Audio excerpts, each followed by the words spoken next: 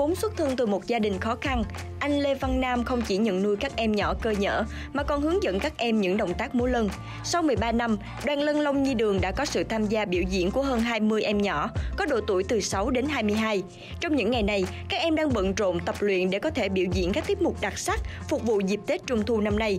Được biết trong dịp này, Long Nhi Đường sẽ biểu diễn tại hơn 60 địa điểm khác nhau trên địa bàn thành phố Hồ Chí Minh, phục vụ khán giả các nơi như trường học, siêu thị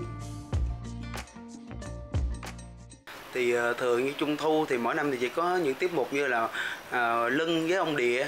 Còn uh, năm nay thì uh, mình uh, có thêm những như tiết mục như là lưng đèn. Lưng có thêm uh, làm thêm những cái đèn led để cho hòa vô với con lưng. Khi mà tới đêm trung thu á, thì mình biểu diễn cái bật những cái đèn đó lên. Thấy khán giả vỗ tay hỏi vui thì em cũng như anh em trong đoàn rất là vui vì uh, bao nhiêu công sức tập mấy hôm nay cũng đã được khán giả công nhận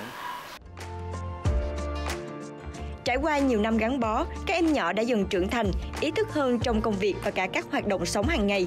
Sau khi biểu diễn, các em cùng nhau kiểm tra và vệ sinh lại các đầu lân để chuẩn bị cho lần diễn tiếp theo. Ngoài Tết Trung thu, Long Nhi Đường cũng sẽ có những tiết mục biểu diễn phục vụ nhiều lễ hội khác trong năm hoặc các sự kiện khai trương văn hóa nghệ thuật.